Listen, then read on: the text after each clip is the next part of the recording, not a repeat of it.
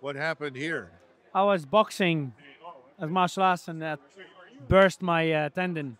Oh, I wish it was like a nice story of like an an injury in war or something, but it's just a boxing well, I- you, you Well- like to box?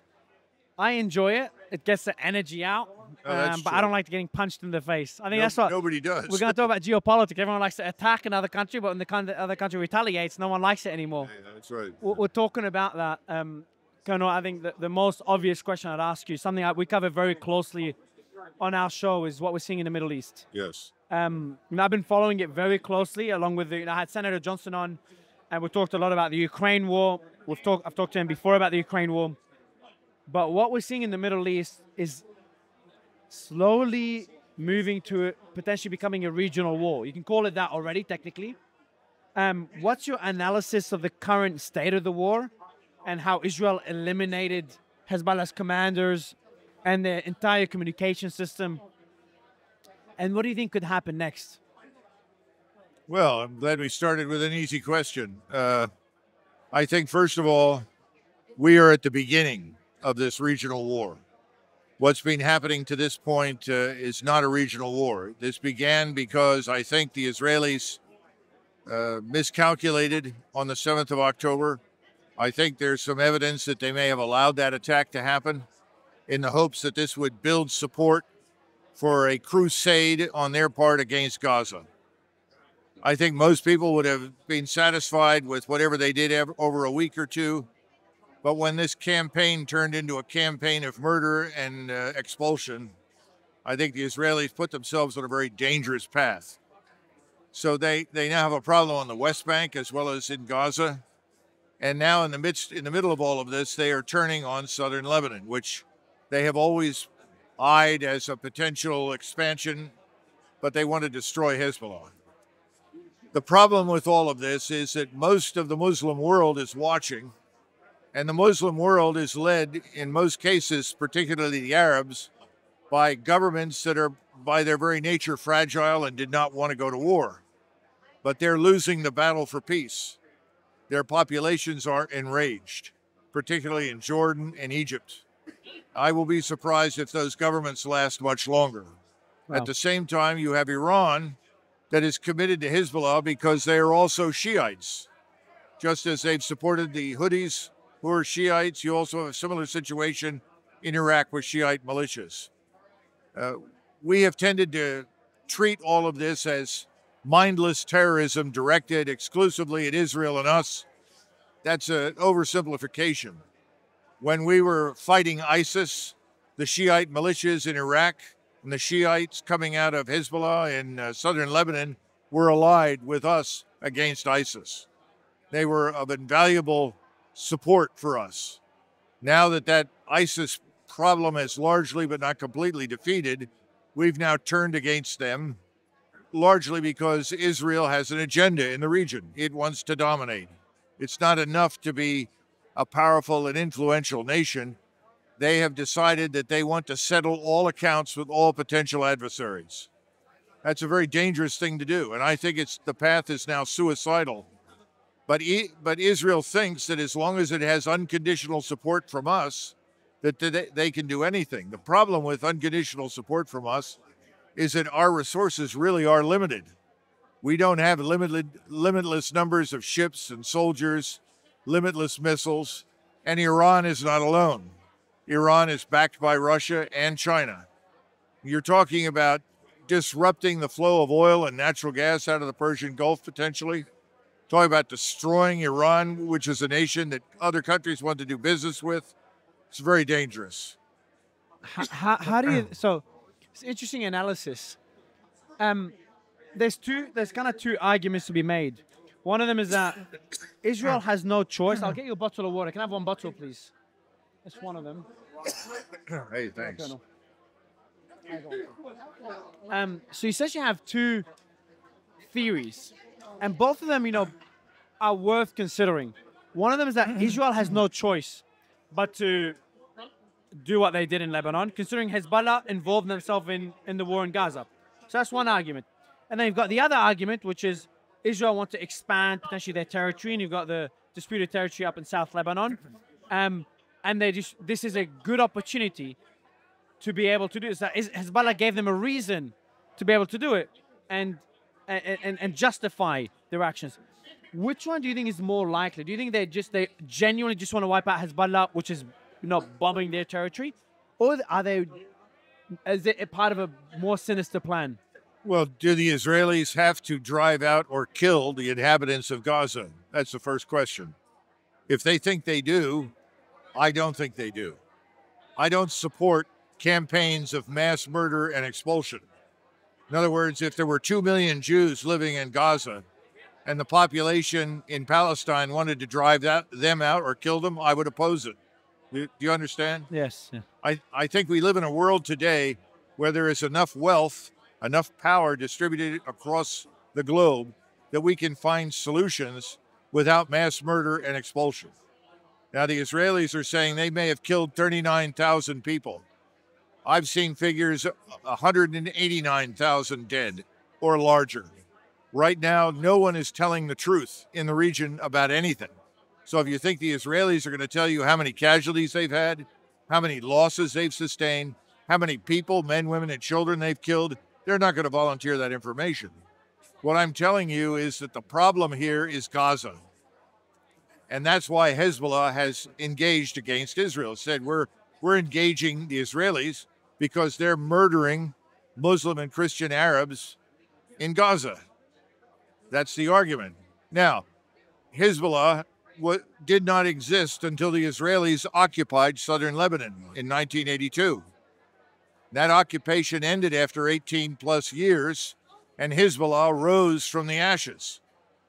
Initially, when the Israelis went into southern Lebanon, go back to 1982, they were welcomed by the Shiites because they were tired of the corruption, the chaos, and the disorder in northern Lebanon. Well, now there's everything In has southern changed. Lebanon. No, no. The, Oh, northern. This is when the Shiites in the south were upset over the chaos and destruction in northern Lebanon. That's why they welcomed the Israelis.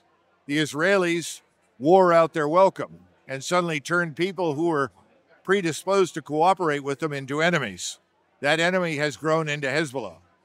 Now, they tried to go in there in 2006. They weren't prepared for what they encountered, and it did not go well. At that point, you could have made a decision. How do we diffuse this issue with Hezbollah? I don't think they were interested in diffusing it.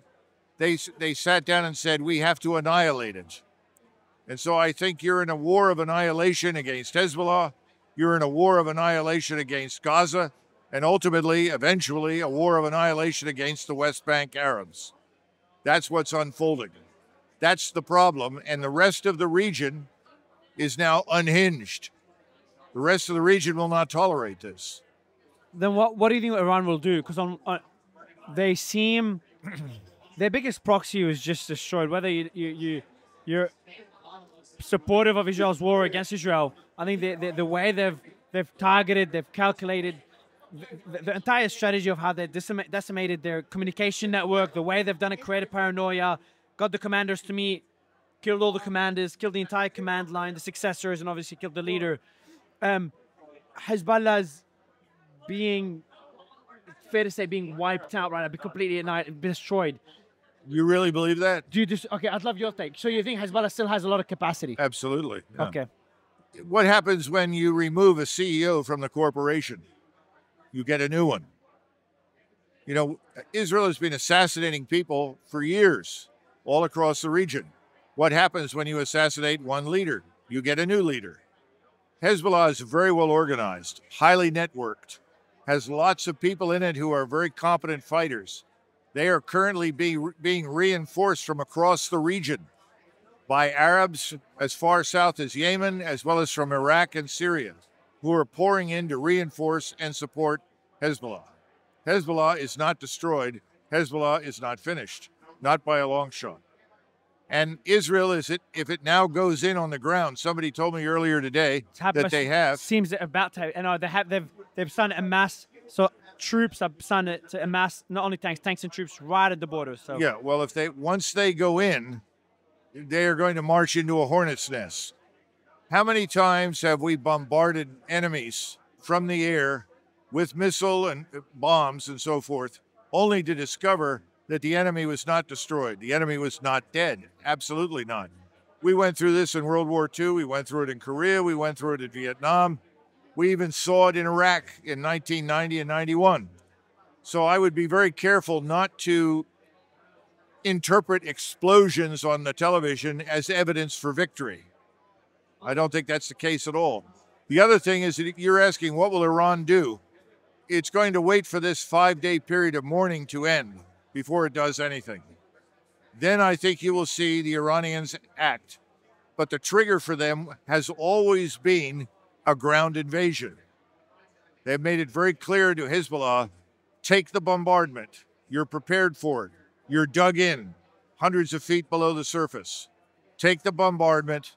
If they come in on the ground, then we will engage. And I think you will see Iran directly attack Israel once it goes into southern Lebanon. That's scary to even imagine. Now, the thing to keep in mind is that's when that's our cue, because we have carrier battle groups, over a thousand jet fighters. But isn't that enough to deter of- Iran? Yeah, they- they're Okay. not there to deter, to attack. But that, so that, do you not think these carriers would deter Iran getting involved? This whole this whole notion of deterrence is delusional. No one is deterred if they feel it's in their national interest, but if they feel that their existence is at stake, deterrence is irrelevant. Do you understand? If you push an enemy into a corner, you haven't deterred him, you've made him desperate. Iran is not going to be deterred from engaging in support of Hezbollah if the Israeli Defense Force goes in on the ground. The likelihood, in your opinion, of Israel and Iran reaching a peace agreement, essentially Iran being forced into a peace agreement now that all their proxies are being hit. I you, look, you you can bomb anybody you want. That doesn't give you victory. The Shiite militias in Iraq are not destroyed. The Shiite Shiites that are armed and ready in Hezbollah are not destroyed. How how how much have we bombed the Houthis over the last several months? And every week you discover another tanker has been destroyed. Come on, wake up, smell the coffee. If you don't go in on the ground, you're not going to defeat anybody. Last question to you, Colonel. What should the U.S. do? How should the U.S. handle things in the state that it's in right now in the Middle East? Well, since as an American, I find the idea of mass murder and expulsion repugnant morally, I think most presidents that we've had in the past, Reagan pulled the plug on the Israelis in 82 and in Lebanon and elsewhere told them no more massacres. This is when they were going after the PLO with Arafat. We arranged for Arafat to leave the country and the PLO to go out. In 1973, after the Egyptians fought very well, the Israelis finally crossed the canal and wanted to go straight into Cairo and completely destroy the state. We stepped in and said no. In the past, Russia and America have worked together to set limits to how far these wars could go. Hmm. Biden has set no limits. Biden is unconditionally supporting whatever the Israelis want to do, and the Israel lobby has more influence on the Hill in Congress than President Biden or anybody else. So, right now, the only way to stop this is to tell the Israelis we are suspending our aid to you until you halt what you are doing in Gaza, in the West Bank, in southern Lebanon. I see no evidence that we will do that. On the contrary, what I see is our readiness now, once the Iranians have responded to the Israelis. Remember, they have been waiting to launch a counterstrike in any case for what happened weeks ago. Once they hmm. attack, that's our cue, and I think you will see all our air and naval and missile power Wow. engage against Iran. That will be a regional war. That will bring Russia in, and I think Turkey will have to make some hard Wow, decisions. Wow. Scary times, Colonel. Scary. Colonel, you got me more alarmed than I was, but look, it's always a pleasure to speak to you. I'd love to have you on the show again, sir. Okay, and, good. and, uh, Nice to meet you. Pleasure's mine, sir. Pleasure's mine.